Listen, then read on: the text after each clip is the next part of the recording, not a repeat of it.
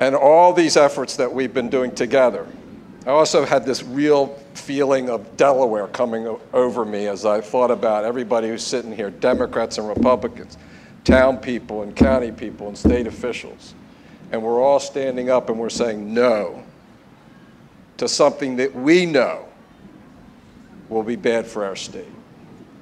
Not only bad for our state, but as Senator Lopez said strongly, that will in some way violate that obligation that we have to future generations.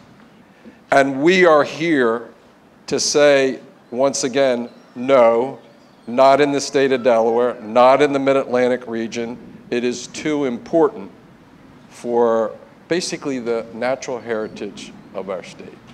And that's why we're doing it.